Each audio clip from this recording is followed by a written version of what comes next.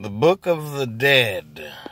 An old book made by the Egyptians. Egyptology said to be a guide of the afterlife. Now, here's the thing is it a problem? Maybe not. But a lot of people, they say, oh, you know, there's heaven, there's hell, there's this, there's this, there's this. And the thing that I've come to, to terms with that everything exists. Everything exists. Okay, so think about it like this there was dinosaurs and creatures, right? So they could make anything with a body uh, in, in existence if if they want to. Now you know that there's different worlds, right? There's different Earths.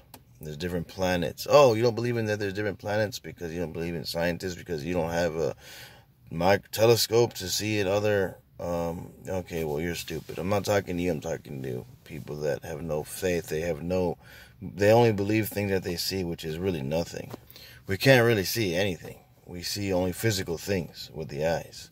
But people can people make a lot of videos, you know, paranormal activity. They see stuff moving by itself and stuff like that, so they know.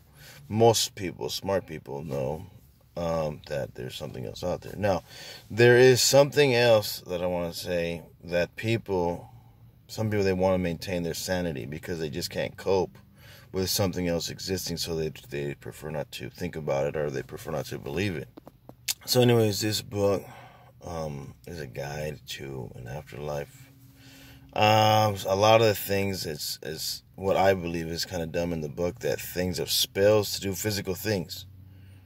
Now, I don't believe I believe I don't believe that that's not true. I, I just believe there's stupid things because once you're in a in a spirit a spirit state, you don't need to really do physical things. Now, you can do physical things. Now, I've seen because I know a lot about paranormal as well. I've seen. Um, things take a physical form. Okay, uh, they can take physical form, or they could make a physical item or object appear, or disappear. Yada yada yada. The list goes on forever. Okay, like I said, you know, there's a bunch of infinite planets. The universe is always expanding. Right. Same thing with the spirit realm.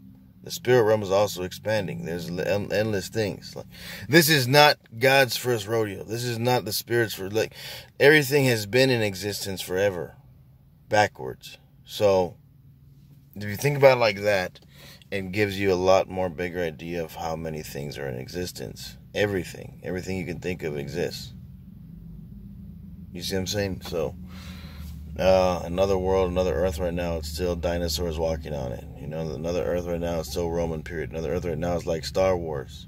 Just like in Star Wars, that's why I always say that. Um, you know, even though it looks like the future, it's a long, long time ago but that Earth was uh, was an old Earth. Like let's say um, you find another Earth that is you know 50 trillion years old somewhere in another galaxy far far away, and they have lightsabers. They have like higher technology, uh, floating craft, and all that stuff.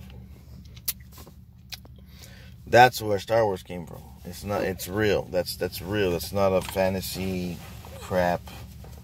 It's all. It's all that stuff is real. Okay. Now it's it's you can make believe it. I mean, you can yeah, you can make believe all you want. But where do you think your imagination comes from? Where do you think thought comes from? It doesn't come from the mind. It comes from the mind, yeah, but the brain only filters the reality. The brain only filters thoughts. It's coming from a spiritual place. It's coming from a spiritual world. So, uh, let me know what you guys think about the Book of the Dead. Oh, I didn't even talk about it. I got sidetracked. So yeah, so there's like spells like uh, for incantation and uh, doing physical things in the spiritual world, which, like I said, uh, not totally bad, but you can do other things too. Um, yeah, there's just the gods in there. I think Osiris is one of them, and the, the one that can uh, Anyways, like, subscribe, and share, guys. Let me know what you think. Peace out.